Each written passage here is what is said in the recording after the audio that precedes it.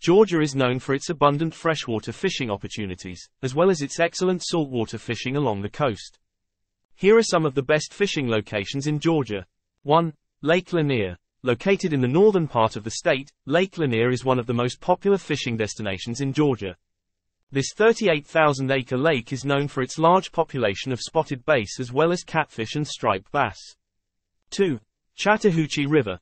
This river flows from the North Georgia mountains down to Atlanta, offering excellent trout fishing opportunities in the upper reaches and bass fishing in the lower sections.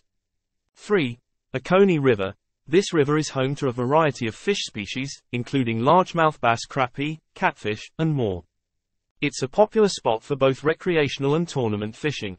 4. Simons Island. Located on the Georgia coast, Simons Island is a prime location for saltwater fishing. Anglers can target a variety of species, including redfish, trout, flounder, and more. 5. Lake Seminole. This lake is located on the border of Georgia and Florida and is known for its largemouth bass fishing.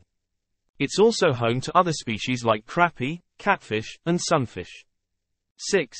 Savannah River. The Savannah River is another popular fishing spot in Georgia, with plenty of opportunities to catch bass catfish, and more.